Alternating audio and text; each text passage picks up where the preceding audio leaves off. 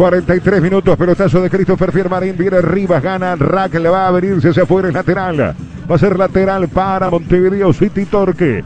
Minuto 43, el partido está a todo o nada para este Peñarol. Viene jugando para Tiago Palacio, va a buscar para Vecino, para Vecino que viene con el enganche, va a pisar el se le lleva para Vecino, lo tiene, lo tiene, lo tiene, gol, gol, gol, gol, gol, gol, gol, gol. ¡Gol!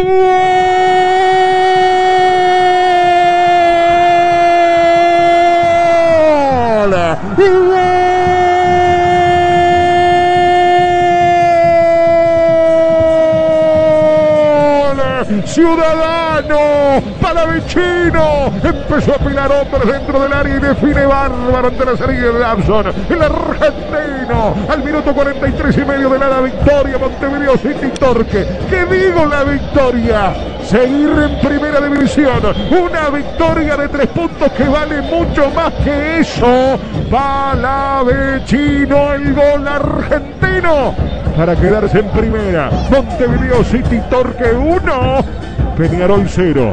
Y de saque de banda viene el gol que le terminan de convertir a Peñarol.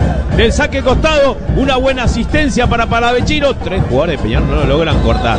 Ni Rack, ni Menose, ni Dawson. Define bien el argentino y la pone la pelota al costado, a la que no iba a llegar nunca Kevin Dawson después de esa acción provocada por él. Control, sí, algo complicadito, se pudo meter y al final abre el marcador y le da Torque, que era el que más intenciones tenía. Una victoria parcial en el campeón del siglo. 1 a 0, Torque frente a un Peñarol anodino, sin juego. Es el primer palabra chino en el torneo. Vamos que vamos. El fútbol país.